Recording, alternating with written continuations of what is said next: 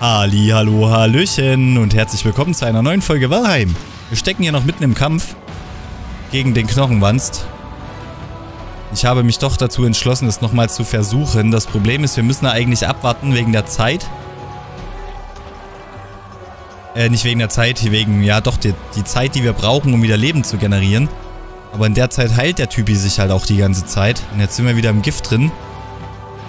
Wir haben aber auch kein Gesundheitsmed mehr am Start. Ja, ist krass, dass die nur zwei Minuten halten.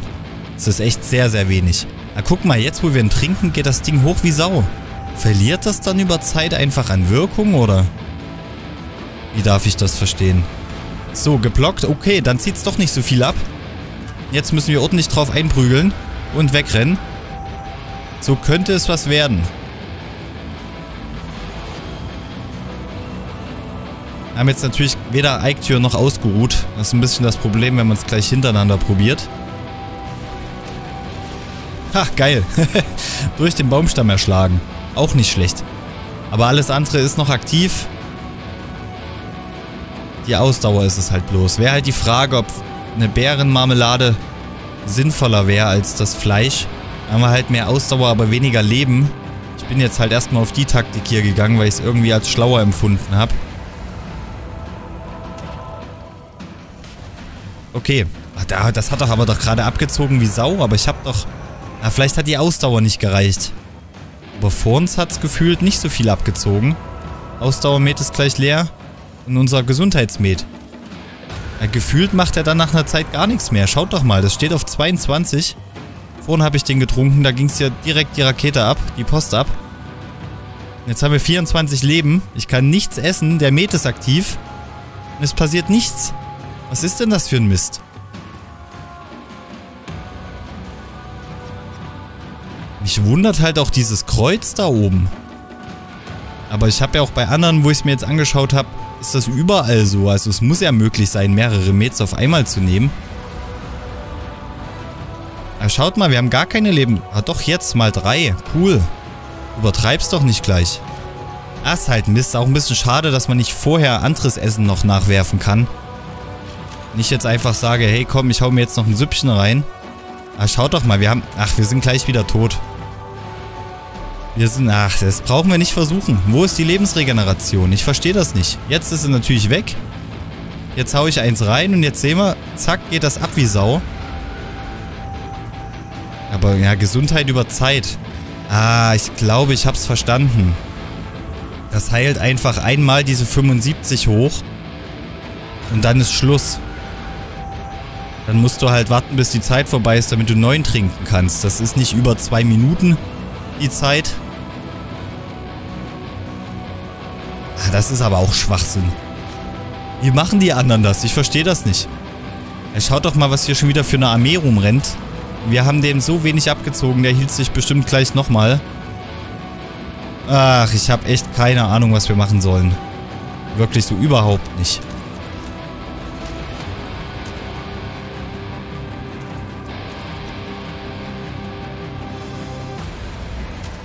Ja, da hinten kommt der nächste. Es hört halt auch einfach nicht auf. Man hat gar keine Chance, zu dem Knochenwanz zu gehen.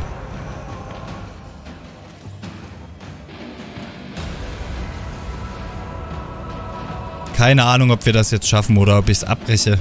Ich bin mir so unsicher. Weil ganz ehrlich, der hat sich schon wieder geheilt. Der ist fast voll. Wir sind eigentlich die ganze Zeit nur am gucken, dass wir es irgendwie überleben. Ähm, schon wieder nur noch 44, 35 Leben. Ach komm. Kommt, das bringt alles nichts. Ja, wir sind gleich tot, bestimmt.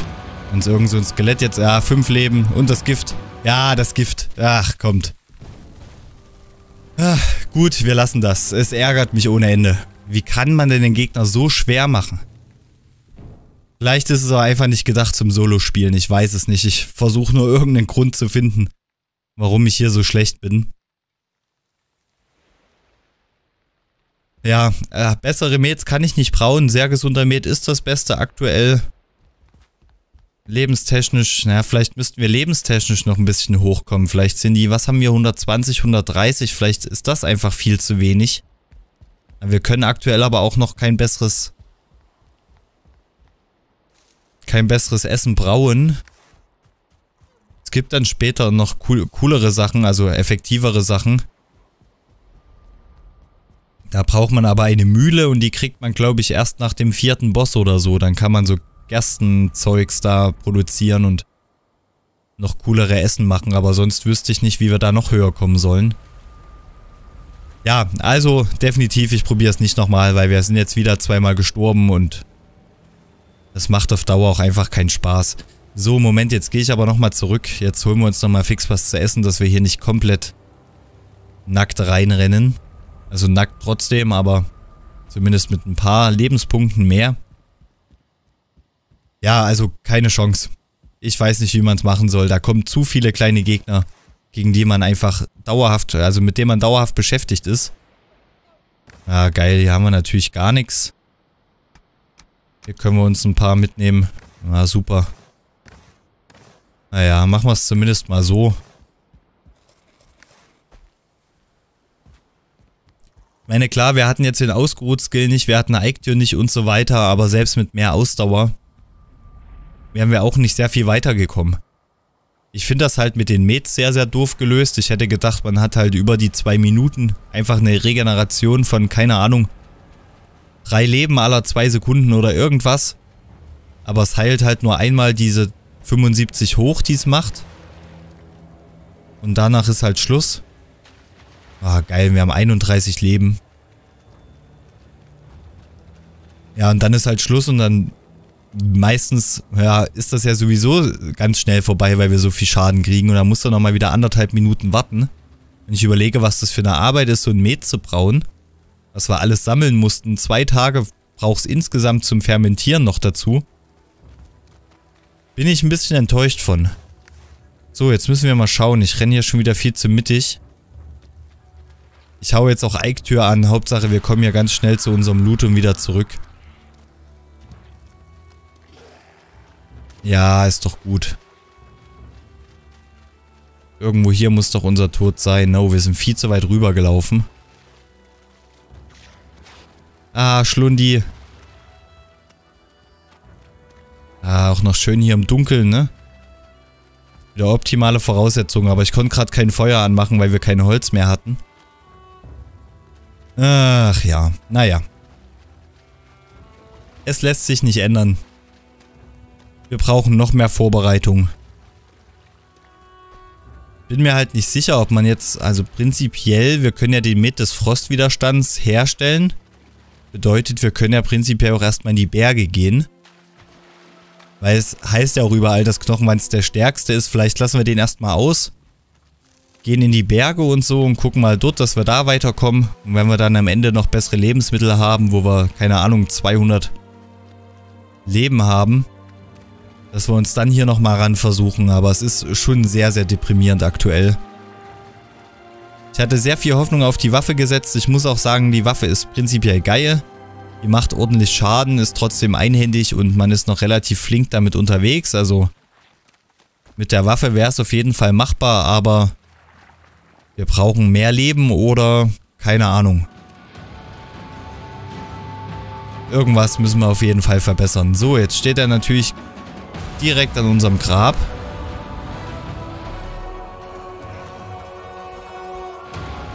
Ja, perfekt. Mach dein Gift. Ich hol mir mein Zeug. Ah, shit. Ich glaube, wir müssen Giftwiderstand reinkloppen.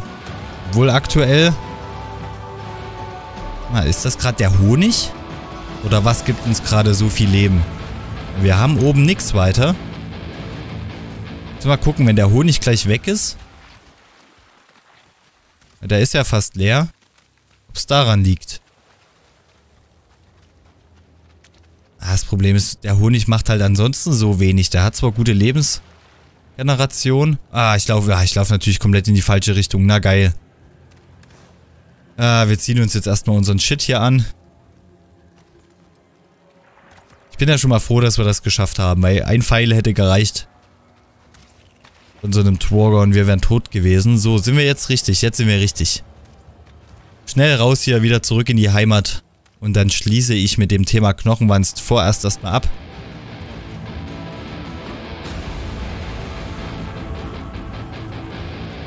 Denke mal, dass das zu zweit auf jeden Fall um einiges geiler ist. Weil sich dann einer um die kleinen Viecher kümmern kann, der andere... Oh, ein bisschen Holz hat er uns gehackt. Hm. Ja, der andere kümmert sich halt um ihn oder wie auch immer. Wahrscheinlich wird er auch stärker sein. Ich weiß nicht, ob das Spiel so ist. Ob das checkt, dass man zu zweit spielt und deswegen die Gegner stärker macht. Aber jetzt solo mit der Ausrüstung, die wir aktuell haben, keine Chance. Also da muss sehr, sehr viel Glück mitspielen. Und guckt mal, unsere Waffe ist ja sogar fast kaputt. Wie wenig wir erst abgezogen haben. Da geht ja zwischendrin sogar die Waffe noch kaputt. Wie soll man es denn dann schaffen? Ich meine, ja, wir haben jetzt zwei Versuche damit hingelegt, aber in den zwei Versuchen haben wir dem immer noch nicht mal ein Viertel von seinem Leben abgezogen. Und die Waffe ist fast kaputt, also entweder müssen wir uns fünf Stück davon machen ja, ich habe keine Ahnung. Also ich gucke mir noch mal ein paar Videos an von anderen YouTubern, wie die das gelöst haben. Ein bisschen abgucken ist ja nicht verboten.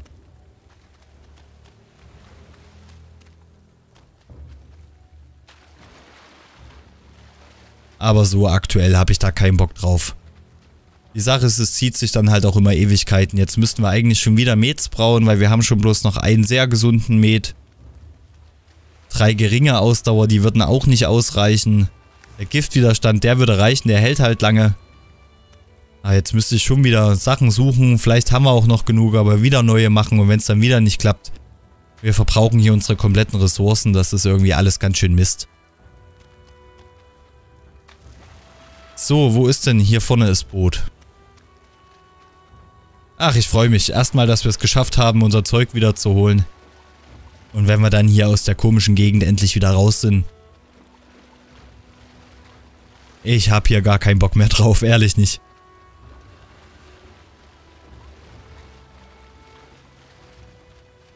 Mal schauen, vielleicht können wir uns auch noch was cooleres machen als den eisernen Streitkolben. Vielleicht es wird ja noch Gold geben und Schwarzmetall oder so. Wenn wir den erstmal auslassen, an, an einer anderen Stelle weiterspielen. Ach, na klar, weil wir jetzt einen so einen scheiß Eisen haben. Ach, ganz ehrlich, ich werf's hier hin. Da baue ich jetzt nicht extra eine Kiste für. Dann machen wir jetzt erstmal kurz unser Inventar leer. Gehen alle mal in die Ecke heulen, dass wir es wieder nicht geschafft haben. Und ja, dann weiß ich auch noch nicht. So, Pilze. Wir haben auf jeden Fall eine ganze Menge Pilze. Das war kein Pilz. Wir haben hier Innereien und Blutsack. Was haben wir denn hier? Drei Schleimling-Trophäen. Haben wir noch gar keine von. Wir haben aber auch keinen Platz mehr. Das ist ein bisschen doof. Was war das hier unten nochmal? Das war Schlamm. Das hatte ich bestimmt bei Sonstiges mit drin. Ach, da ist schon Schleimlinge-Trophäe. Okay. Das weg. Knochen haben wir auch noch. Das hatte ich mit bei Samen drin. Holz können wir auch erstmal wegpacken. Die Mets können wir ja prinzipiell erstmal ein... Na, obwohl, ich pack die mal mit hier in die... Ne, ganz unten links. Nehmen wir die mal als sonstiges Kiste. Dass wir merken, uns merken, dass das da drin ist. So. Dann haut das zumindest erstmal hin. Ja, der Honig macht 5 HP. Das ist natürlich schon nicht ohne. Aber das macht 2 HP, das macht 3, das macht auch 2. Also sind wir bei 7 HP. Das Problem ist, das macht halt 20 Gesundheit, 20 Ausdauer und das ist eigentlich, nee, das ist zu wenig. Da müssen wir entweder noch was cooleres herstellen können oder finden, dass wir es herstellen können. Oder naja, ich will jetzt nicht groß weiter drüber philosophieren. Fakt ist, das Thema bleibt jetzt erstmal... Oder wir legen es erstmal beiseite. Und gucken mal, ob wir irgendwann an einer anderen Stelle cool weitermachen können. Prinzipiell waren ja auch die Goblins ganz geil. Hatte ich mir das gespeichert? Ach, hier Ebenen hatte ich geschrieben, genau. Vielleicht gehen wir da mal ein bisschen rumlungern. Was die noch so auf dem Kasten haben. Haben wir auch nicht direkt die beste Erfahrung gemacht mit denen. So, das noch ein Honig rein. Dann soll es erstmal reichen. Wir müssen hier unbedingt mal noch ein Tor bauen. Ich hatte eigentlich in Erinnerung, dass ich es schon gebaut habe, aber anscheinend doch nicht. Habe ich natürlich das Holz weggepackt. Also wir werden das Tor mal bauen, dann gucken wir mal, dass wir für den Kohlenmeiler noch einen besseren Platz finden. Unser Feld müssen wir auch mal wieder bestücken.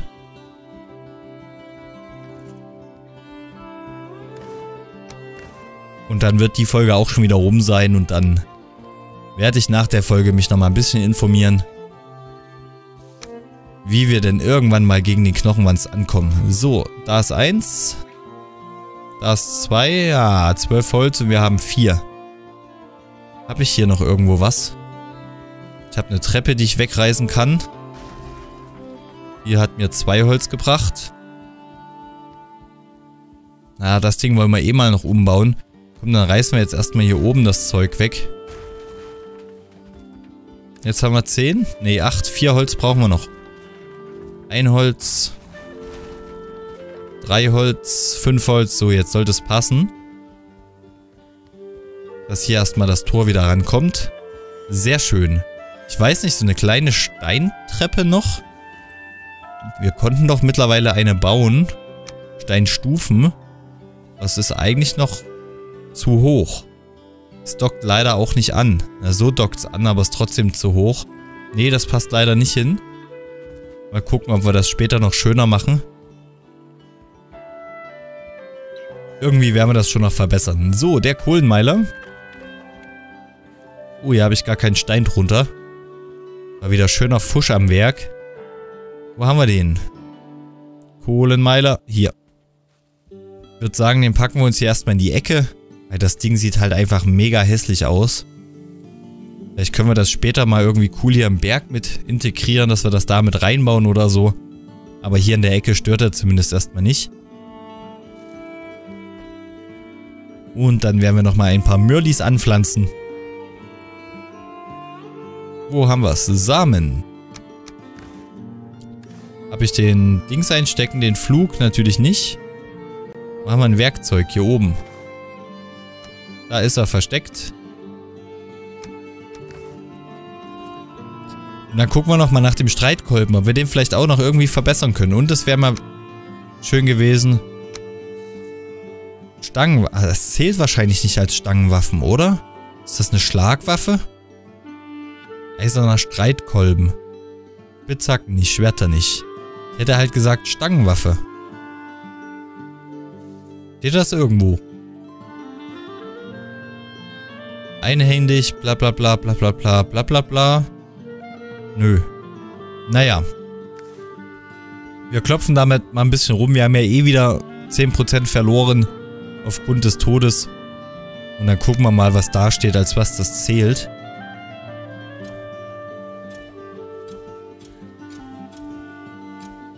Dass wir das demnächst auf jeden Fall ein bisschen hochtrainieren. Und eventuell das Teil noch auf Stufe 3 kriegen. Aber ich glaube auch dann sind wir immer noch ganz weit davon entfernt, den irgendwie zu besiegen. Ich denke, es liegt an unseren Lebensmitteln. Wir brauchen bessere Lebensmittel, wo wir vor allem mehr Leben haben. Und vielleicht auch ein bisschen mehr Regeneration. Das Problem ist halt, wenn wir neue Sachen futtern, dann ist das nur die ersten paar Sekunden so, dass wir da ordentlich Leben von kriegen. Und dann hängen die uns aber Ewigkeiten im Bauch und bringen aber gar nichts mehr. Das ist halt ein bisschen doof. So gefühlt zumindest.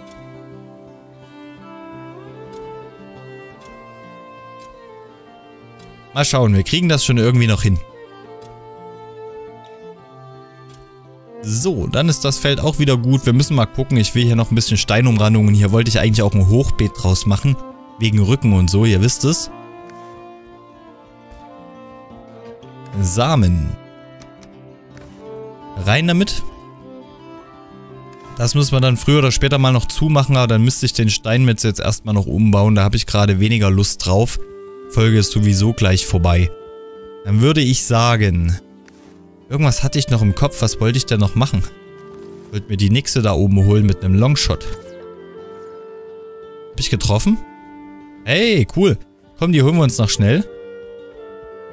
Wenn wir richtig cool sind, können wir den Kohlenmeiler jetzt als Ausstieg benutzen. Jawoll.